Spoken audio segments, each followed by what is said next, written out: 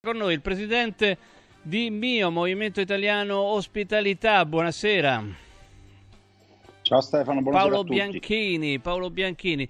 Allora, um, allora innanzitutto parliamo, partiamo da questo perché rimaniamo in scia no, sul eh, tema aumento dei costi, aumento delle bollette, aumento dei carburanti, aumento eh, di tutto. Sta diventando sempre più complicato eh, lavorare in qualsiasi eh, settore che abbia a che fare con l'energia, cioè tutti, e con l'agroalimentare, perché um, abbiamo scoperto una parte importante de- dell'agroalimentare arriva dai teatri di guerra. Tra l'altro, ieri parlavo con un ristoratore qui di Roma, eh, specializzato, sai, in quelle cose un po' così tipiche della gastronomia romana, per esempio il famoso carciofo alla giudia si deve fare con l'olio, mi diceva, con l'olio di semi di mais e quello diventerà o diventa, è già diventato quasi introvabile perché insomma il mais arriva prevalentemente appunto da, dall'Ucraina.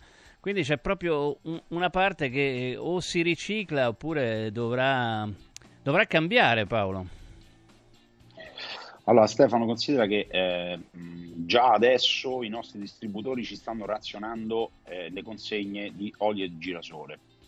Eh, tutto quello che eh, è derivato da cereali e cereali sta mettendo in grossa difficoltà tutta la filiera dell'allevamento, sia bovino, sia ovino, sia caprino e così via, perché naturalmente eh, sono schizzate alle stelle anche i mangimi eh, e tra poco mancheranno negli allevamenti e quindi abbiamo già visto l'esempio di alcuni allevatori che eh, non ce la fanno più a, ad allevare le, eh, diciamo le bestie. Che succede? Che naturalmente oltre alla mancanza di materia prima c'è anche un'impennata dei costi derivanti appunto dall'aumento delle bollette. Oggi noi siamo stati totalmente abbandonati a noi stessi. Da quando c'è Draghi al governo, le nostre aziende sono state totalmente eh, lasciate al loro destino e oggi noi siamo al punto eh, di non ritorno. Cioè, l'abbiamo detto spesso che eh, avremmo toccato il fondo, oggi con questa guerra maledetta che è scoppiata a due passi da noi, siamo arrivati al, a, a, allo showdown, come si dice in gergo. Eh, e c'è ancora chi si ostina a parlare di restrizioni, di prolungamento di Green Pass e così via. Allora, Chiariamo una cosa per Anzi, tutti oggi più di prima, de, perché hanno ricominciato a parlare dell'aumento della probabile sesta ondata e cose di questo genere, veramente ne, non si allora, loro parlano, loro parlano, però ci sono dei dati che sono oggettivi e i dati ce li ha dati oggi, scusate il gioco di parole, parole Agenas, che è l'Agenzia Nazionale per la Sanità, che è gestita dal Ministero della Sanità, non da, da Paolo Bianchino o da Mio Italia. Noi abbiamo una fotografia ad oggi di questi numeri. 5% di terapie intensive occupate, lo stesso giorno dello scorso anno eravamo al 33%. Siamo al 13% di occupazione dei letti nei reparti ordinari Covid contro il 37% dello scorso, eh, diciamo del, dello scorso anno nello stesso giorno. Quindi il governo sappia una cosa, noi l'abbiamo sempre osteggiato, tu lo sai, a noi il Green Pass non ci è mai piaciuto, al, al contrario di qualche altra associazione di categoria che l'ha benedetto appena il governo lo ha introdotto, ma sappia il governo che noi dal primo di aprile, se prolungano l'esistenza del Green Pass, ci rifiuteremo di controllarlo all'interno dei nostri locali. Basta e gli italiani devono sapere che se non esiste da parte di tutti gli italiani, anche coloro che sono vaccinati e che sono ormai arrivati al 97%, che questo strumento non è uno strumento di controllo sanitario, ma è tutt'altro, ma serve semplicemente a tracciare i movimenti degli italiani, quando, quanto spendono, dove vanno, quanti caffè prendono al giorno, quante volte vanno al ristorante, quante volte vanno in, eh, dal parrucchiere e così via o esiste da parte degli italiani un moto d'orgoglio e di ribellione nei confronti di questo strumento, oppure noi saremo definitivamente schiavi di un'applicazione che deciderà se addirittura potremo Comunque, da oggi, da oggi non c'è più, in Francia non c'è più, uh, in, uh, non c'è neanche più l'obbligo di indossare le mascherine al chiuso, peraltro, in Francia, per cui veramente esatto. la, co- la, cosa curiosa è che, non lo so, um, al confine tu c'hai eh, il confine tra la Liguria e la Francia a Mentone sono liberi e passi il confine due chilometri e ti ritrovi col Green Pass e la mascherina, insomma, quindi è una cosa curiosissima. Guarda, Stefano, hai fatto un esempio, hai fatto un esempio eh, spettacolare. Ieri parlavo con il presidente del distretto turistico di Stresa, una delle perle italiane.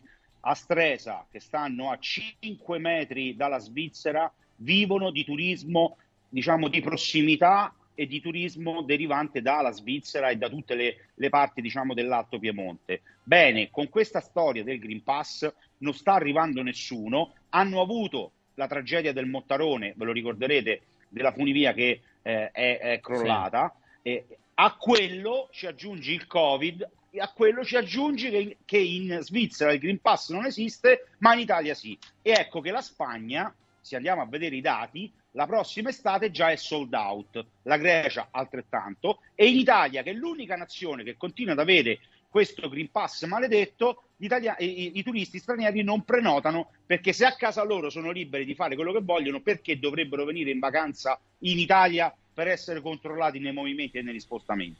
Basta sta farsa. Oh, ie- ieri appunto sempre nello stesso posto, non dico qual è, insomma, siccome c'erano un po' di eh, scozzesi, no? C'erano gli scozzesi che erano venuti a vedersi eh, la partita di rugby, l'ennesima sì. sconfitta italiana, eccetera. Poi chiaramente ieri era una giornata di gran sole, per cui hanno girato per il centro di Roma ed erano per fortuna eh, tutti seduti a ristoranti e caffè all'interno eh, chiaramente obbligavano a mettere la mascherina e tu devi vedere che c'avevano questi perché da loro proprio da mo non è obbligatorio no? Saranno, eh, tu li riconoscevi perché c'avevano le bandane le cose cioè delle cose incredibili perché non, non ci pensavano capito? Non, non, non era nel loro, nella loro mentalità. Allora il punto è questo Stefano. Queste restrizioni che continuano a perdurare in hanno qualcosa di sanitario oppure dietro c'è la volontà di distruggere un intero comparto. Io inizio a pensare alla seconda, perché se continuano ad essere poste restrizioni soltanto in Italia è perché evidentemente devono favorire chi sta al governo la continua apertura di multinazionali del junk food, cioè del cibo monnezza, tanto per essere chiari, della spazzatura che in America la fa da padrone, in Italia noi ristoratori stiamo fallendo e una catena di fast food, non faccio il nome perché nemmeno la nomino, continua ad assumere migliaia di lavoratori ogni settimana in tutta Italia. Questa cosa è vergognosa. Non è possibile svendere l'enogastronomia italiana e un'esperienza di turismo che ci invita da tutto il mondo a favore di chi vende monnezza. Non è possibile. Ah no, non è possibile, ma è quello che sta, che sta, succedendo. Allora, io tra l'altro oggi sono andato a fare colazione, te lo dico così, ehm, in un eh, bar, eh, cioè, simpatico, cioè aveva dei cornetti molto buoni. Ehm, e c'era un cartello all'ingresso che diceva vabbè chi entra qui dentro si prende la responsabilità di avere il Green Pass. Noi non ve lo controlliamo. Ci abbiamo altro da fare. Oh il, il bar era pieno eh. Cioè, sai pure... che cosa c'è scritto nel mio ristorante? ti dico cosa c'è scritto nel mio ristorante? Green Pass o non Green Pass siete tutti benvenuti. Mutui affitti stipendi tasse e fornitori non me li paga lo Stato, li devo pagare io. Quindi benvenuti a tutti e accomodatevi, anche perché oggi ce l'abbiamo tutti, tra vaccinati e guariti ce l'abbiamo tutti e quel 3% di italiani che rimane che non è vaccinato non lo convinci nemmeno con la pistola alla tempia. Quindi liberi tutti e fateci vivere perché basta oggi avere la paura della guerra. Non va aggiunto a questo un altro aspetto che limita la libertà degli italiani. Basta. E la politica, se non farà questo dal primo aprile, si assume la responsabilità di continuare a imporre uno strumento che non è sanitario, ma è di controllo. Sia chiaro. Beh, in effetti non c'è una spiegazione del perché debba continuare, visto che in tutto il mondo non c'è, francamente. Anche se poi di questi tempi, no, con le cose così serie e gravi che, che vengono con la benzina e il gasolio a 2 euro e 3 uno dice vabbè ma sta cosa del Green Pass è una cosa del passato. Vabbè ma se è una cosa del passato levatela no? cioè non, non si capisce perché, perché, debba rimanere. No, ma anche cioè perché... perché... la stessa accusa che viene rivolta a chi ne continua a parlare eh, potrebbe essere ribaltata. So che nel linguaggio eh, del, dei social viene considerato questo uno gne gne gne ma eh, sta di fatto che se tu mi dici che è una cosa del passato, allora leviamola, no? Eh, scusa. Eh... E, soprattutto, e soprattutto, Stefano, se il 31 di marzo finisce l'emergenza, il generale Figliuolo già ha detto che sta, ha fatto gli scatoloni e dal primo d'aprile torna a fare il generale. Quindi se finisce lo stato di emergenza, di conseguenza vengono meno tutte le restrizioni. Altrimenti Draghi abbia le palle di continuare con lo stato di emergenza ma lo deve portare in Parlamento e i parlamentari se ne devono assumere la responsabilità e continua allora la storia del Green Pass. Poi starà a noi comunque continuare a non chiederlo, perché questa storia deve finire. La politica purtroppo ha la pancia piena e non guarda chi ha la pancia vuota, perché a 20.000 euro al mese siamo tutti buoni a dare le pacche sulle spalle agli imprenditori e a dire avete la nostra solidarietà. Qui stanno saltando le aziende e quindi questa gente si deve rendere conto che nel 2023 prenderà no i voti, ma i calci in bocca se non la smettono di prenderci eh, ma giro. qualche voto lo prenderanno sempre, eh, quindi come si dimostra può diminuire la percentuale dei votanti, ma poi quello che conta è il, la percentuale eh, ci relativa. saremo noi a ricordare ci saremo noi a ricordarlo agli italiani, non ti preoccupare Stefano. Tra l'altro, tra l'altro, scusa, ma su sta cosa qua anche i critici no, del Green Pass hanno votato la conversione in legge del decreto che eh, lo stabiliva, che prolungava comunque eh, l'estensione esatto. del Green Pass, quindi eh, non, so, veramente c'è non ti preoccupare, il primo, il primo aprile glielo ricorderemo noi a quelli che fanno i tweet, i post dicendo basta restrizioni, citando le varie nazioni in giro per l'Europa che eliminano le restrizioni e poi votano questi decreti. Tranquillo, il primo aprile a Roma glielo ricorderemo, tranquillo.